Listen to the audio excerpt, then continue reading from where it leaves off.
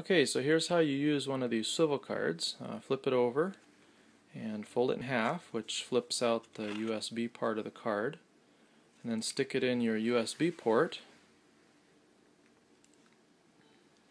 And that'll bring up the iPaper drive, which you can click on and launch the ClickMe file which brings up your website or whatever other content that you happen to have on the card. It's as simple as that.